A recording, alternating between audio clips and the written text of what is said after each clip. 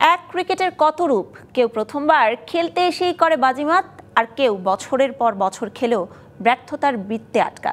এবার বিশ্ব দেখছে লর্ডসে কনওয়ের রূপকথা। আরেক দিকে বাংলার ক্রিকেট প্রেমীরা বছরের পর বছর শোনে টাইগার স্কোয়াডের শিক্ষা সফরের গল্প। সৌম্য, লিটন, শান্তরা ধৈর্য ধরছেন। আন্তর্জাতিক ক্যারিয়ারের অনেকটা সময় পেরিয়ে এখনও শেখার তীব্র বাসনা টাইগার ব্যাটসম্যানদের মাঝে।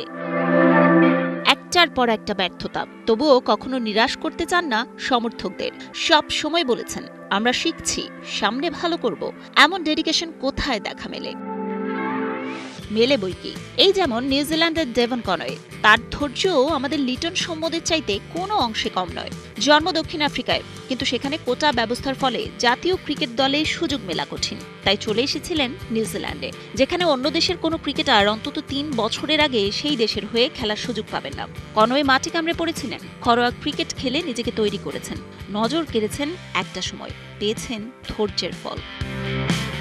বনেরি ফরম্যাটের ক্রিকেটের পোশাকটা গায়ে জড়িয়েই করেছেন সেঞ্চুরি, তাও আবার ক্রিকেটের তীর্থভূমিতে। ইতিহাসের অষ্টম ব্যাটসম্যান হিসেবে লর্ডসে সেঞ্চুরি করার কীর্তি গড়েছেন বাহাতি ব্যাটসম্যান। কনয়ের ধৈর্যের ফল বড় মিঠা, তাই নিজেই বলেছেন, এর চেয়ে ভালো শুরু আর হতে পারে না।